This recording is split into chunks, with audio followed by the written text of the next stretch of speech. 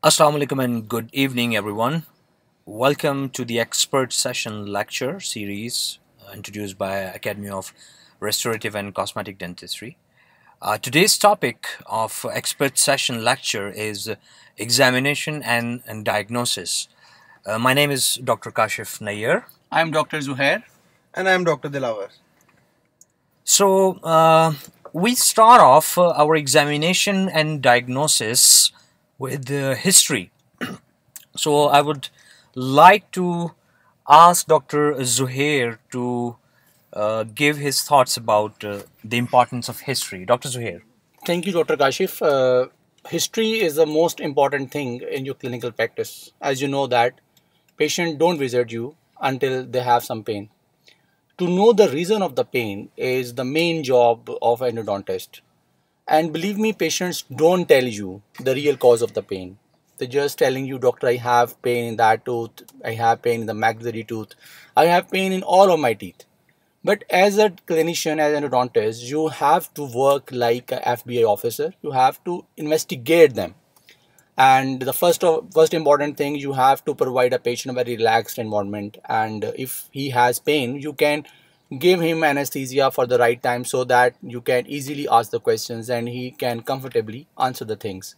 So today we will tell our colleagues about uh, the five main things that we daily ask the patients uh, to know the reason of pain. And for that thing i will go to dr dilawar he is a very good clinician and uh, he has uh, he always these questions are basically created by dr dilawar and in sequence. So I will like to ask Dr. Dilawar. I know he's laughing right now, so he will tell you in a better way.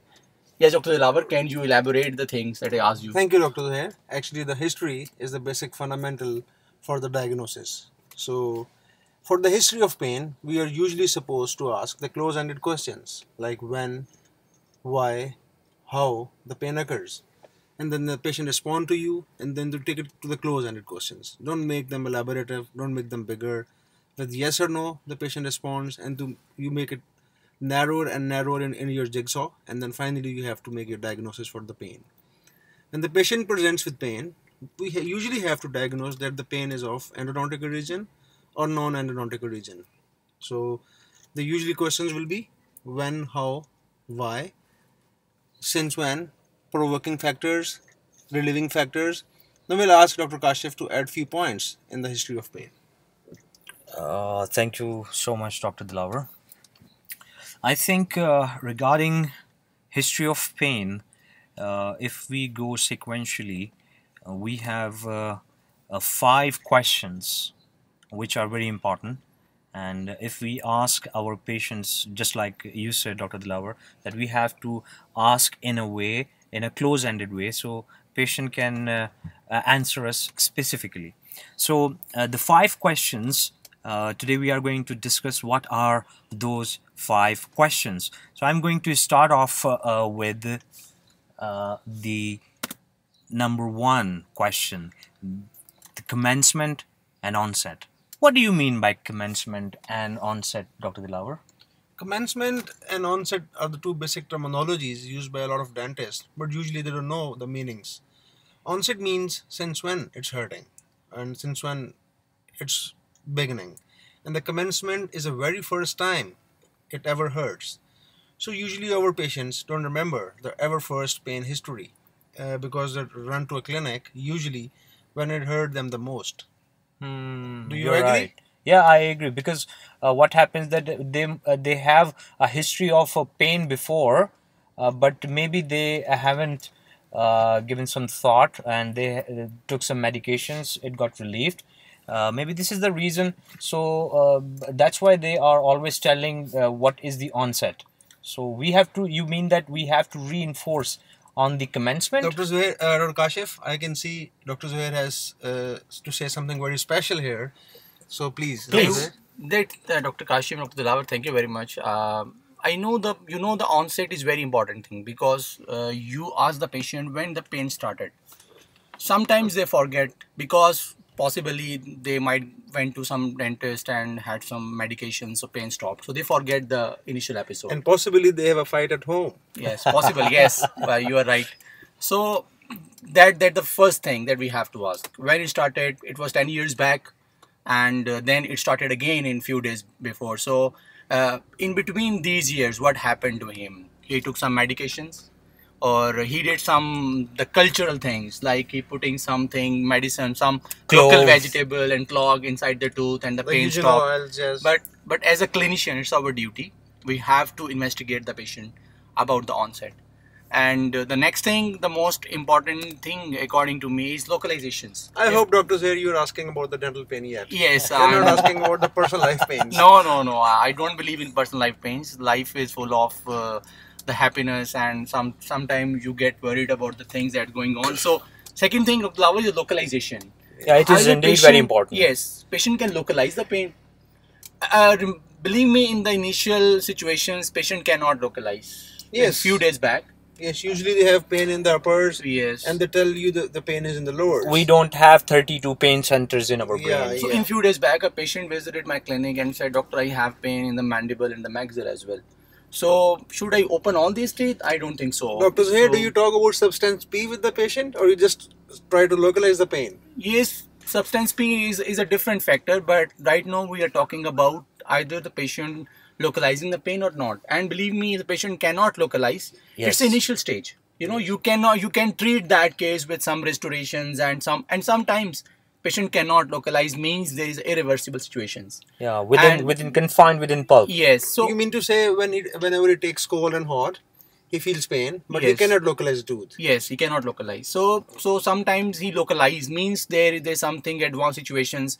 There's a necrosis going on. Hmm. So in both situations, we have to address the real problem of a patient. And patient, if patient is in a pain, you cannot you can you cannot evaluate the real cause. First of all, you have to you have to give him a very comfortable environment. You have to inject something so he can talk to you in a in a normal way. Whatsoever it is, doctors here, it must be the guilt is trigeminal nerve.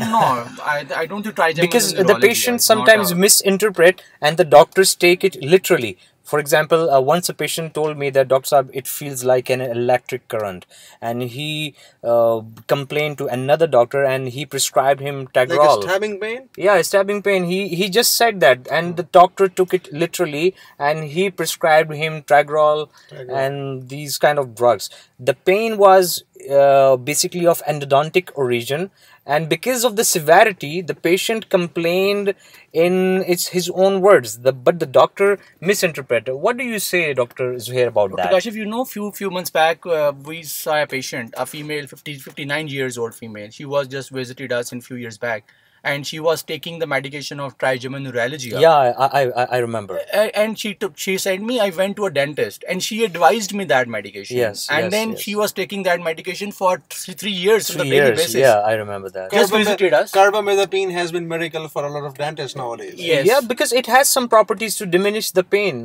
It can diminish uh, even the endodontic pain as well, but this is not a Hmm. correct diagnosis.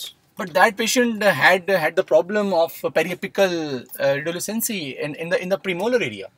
So we just opened the tooth. We treated that tooth. The next day patient was fine. So the problem is, as a dentist, we have to train the guys about the history You of know. Dr. Zuhair, I usually tell my patients whenever we present them in a pain that if there's a closed room and uh, there's a capacity of 10 people and 50 people entered in that room, the room has to burst because there's no place for the people around. Yes. So it has to burst. So the next point is the provocation.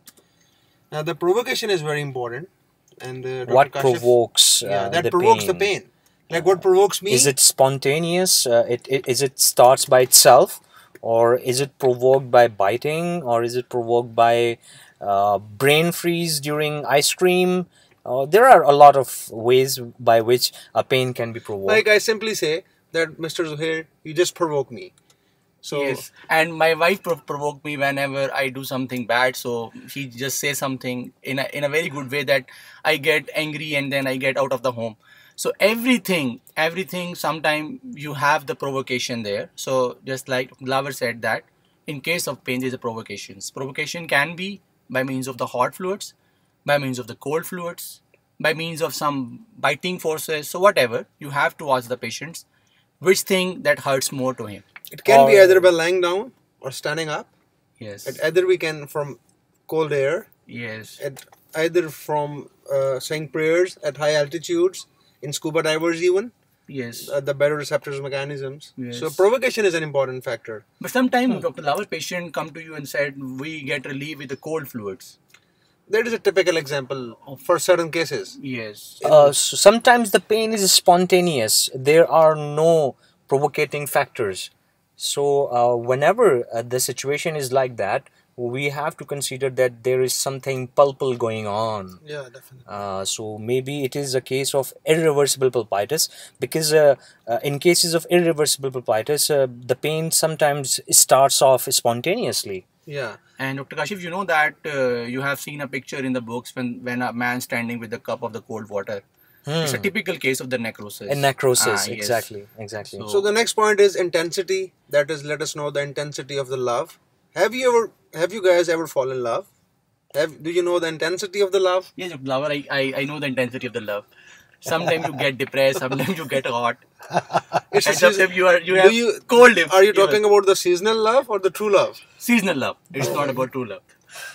So the intensity does matters. intensity yeah of course because uh, mm, uh, in certain reversible situations there is intense pain Yeah. uh, and in certain uh, irreversible situation there is no pain at all uh, the intensity is less In the So- Bible of uh, Endodontics, Ingle, it's written, dental pulp is so amazing.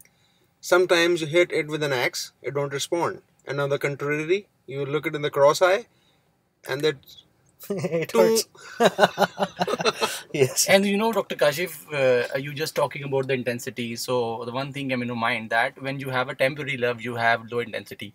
When you have a permanent love, like the marriage, you don't have pain then. then there is but no you love. have some, you have some, you have some brain issues. So that that's the most serious thing. no i have four kids i love They my all family come by the method of love. Okay, so uh, duration is very important, uh, including all these questions, because this duration is distinguishing between a lot of things. What do you say, Dr. Dilawar? yeah, if the duration is short, we can suspect the reversible pulpitis. And uh, if the duration is longer, then it must be reversible.